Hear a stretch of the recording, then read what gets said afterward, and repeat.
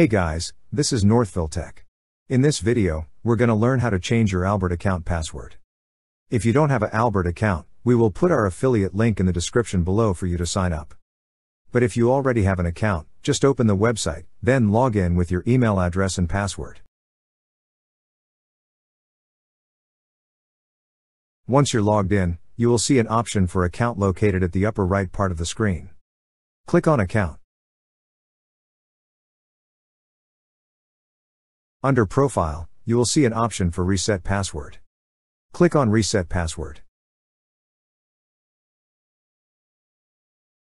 And you will be redirected to this page, from which you could reset your password. Now, choose how you want to receive the instructions for resetting your password, either via email or phone. If you chose to receive it via text message, a password resetting instructions was sent to your phone. Then just follow the on-screen instructions and prompt on how to reset your password.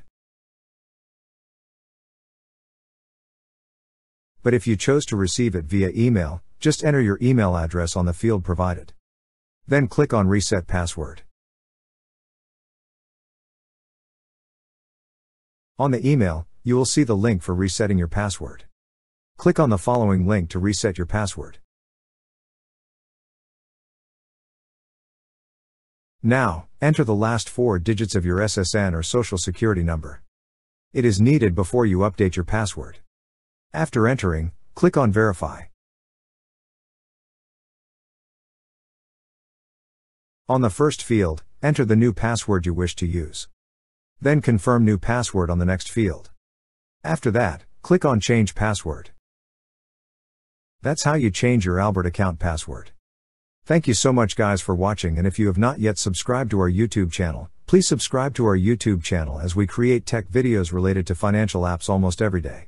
Also, check out our website northvilletech.com for great tech articles, and our recommended resources in the description below for various sign up bonuses.